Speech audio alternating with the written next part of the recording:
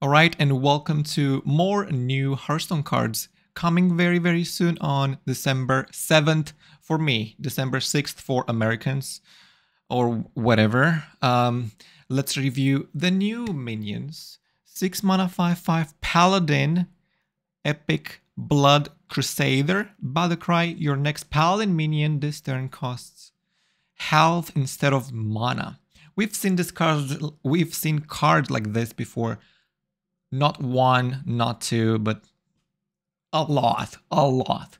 And most of the times that ended up being extremely broken. So um this is 6 mana so it looks like Blizzard learned from the past from mistakes where the Stealer of Souls or whatever the Warlock card was called was literally causing game breaking combos on turn 4, even turn 3. I, I think I've seen somebody doing turn 1 OTK with that whole card.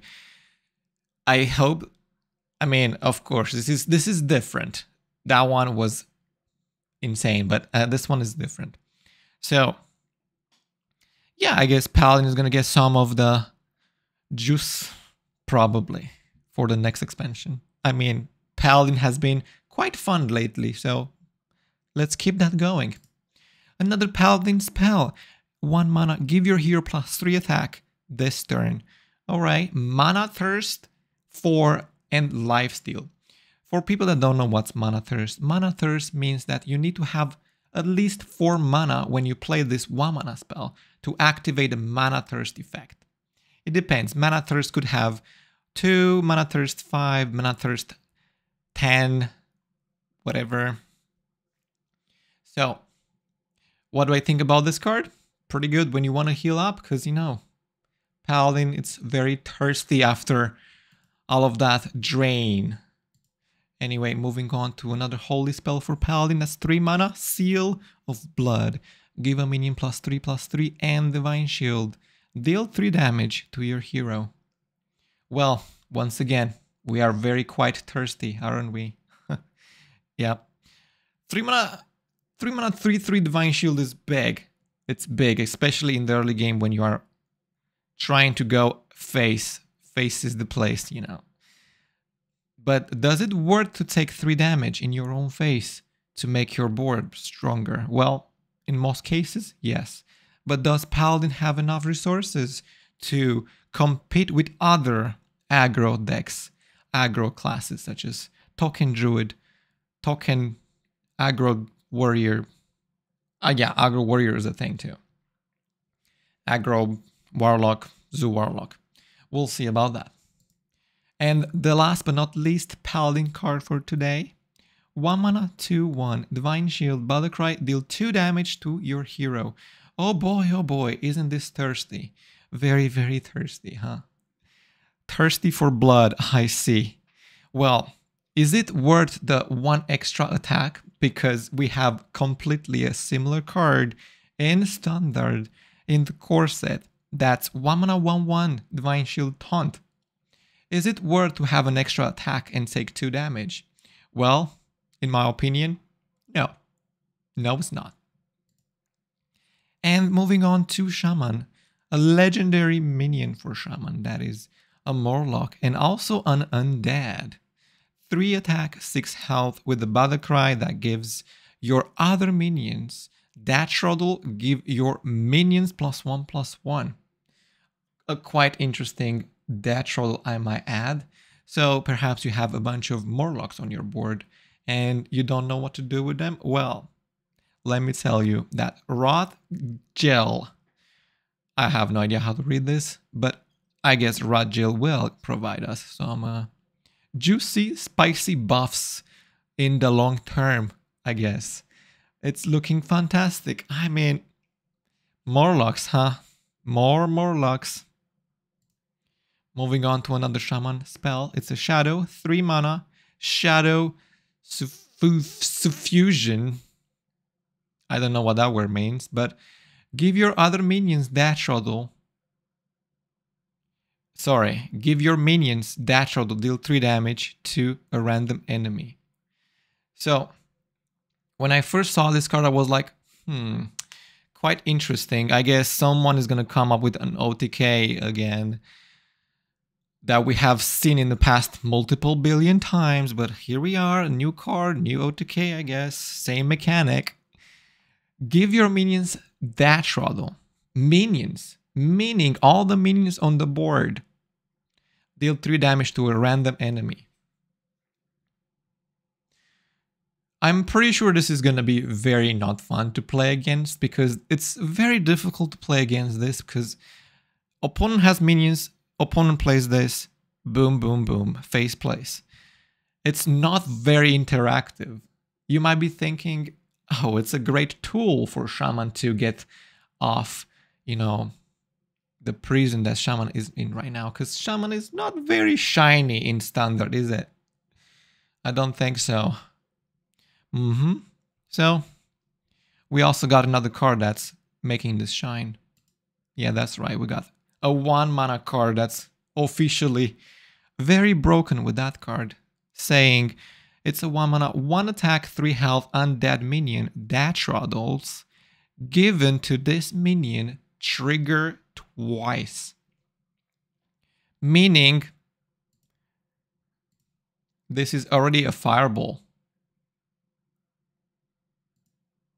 You might might be thinking, but Chris, it doesn't say go face, it goes to a random enemy. It could go to a minion as well. Yeah, but still. In my opinion, this spell is a little bit too sketchy and a little bit too cheap for what it does. So you could combine this on like turn 7 or something with a bunch of minions because you got lots of those and you just boom obliterate your opponent's face with this a little bit unnecessary and a little bit not quite interactive for the game some people might say wow that's super fun but i think it's a little bit too not interactive for the opponent just like any other spell that does damage face so your opponent is gonna play Fireball in your face. Boom. Wow. Thank you. I really appreciate that. And the next turn, opponent plays another Fireball. Boom. Thank you. I really appreciate it. And on the last turn, opponent plays Pyroblast into your face. Boom. You do you you die. Wow, that was so fun. Thank you so much for playing. We enjoyed the game so much. You know, Hearthstone used to be super interesting when we had minions interaction on the board. Oh, your minion is going into the in, and does this. My minion has stunt. My minion does this and that and that. No, no, no, no. We just play a card. The card goes face. Boom, I just won the game. That's it. Not much going on. Just play the card, go face, win the game. All right, and uh, the last but not least, again, another Shaman minion. It's a 5 mana 2-2, very disappointing. But it's an undead with taunt. Deathrattle summon a 6-6 undead with taunt. A lot of people on Discord got confused. On Hearthstone Discord got confused about this and they were like, ew, 5 mana 2-2? Ew, ew, ew. But no, no, no. You silly, silly goose. It's literally a 5 mana 8 8. That's right. And it also has taunt. Both of them. This one has taunt, the other one has taunt too. Well, I guess. Is this gonna prevent you from dying? No, it's not. Because we bypass that. We literally bypass that. I mean, I guess this is a bit more balanced because it could target the minion, but I am pretty sure that the RNG is gonna be like, hmm, I think we are gonna go face and not go into a minion. Because I know how this is gonna go, you know? Opponent has seven minions, and this goes and triggers seven times, and all of them are going face. And the opponent's like, what? But I had seven minions. Nah, this is going face all the time, so whatever. Yeah, alright, this is all the cards for today. Hopefully we're gonna get more interesting cards soon, hopefully. Shaman surely has a very interesting spell that has to say something in the upcoming expansion and upcoming meta of Hearthstone, obviously.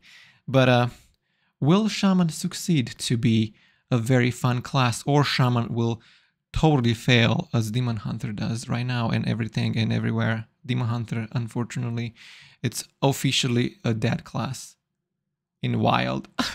in Standard, it's probably pretty good, but in Wild, like, bro, you don't have any wild cards. Oh, wait, what are we talking about? Anyway, thank you for hanging out with me and see you all into the next episode of Christian is reviewing cards for the upcoming expansion and upcoming Hearthstone patch because there is a new expansion coming on. There is a new class coming on. There is a new core cards coming on. There is path of arthas cards. It's so much madness going on but we are here and we love it. Bye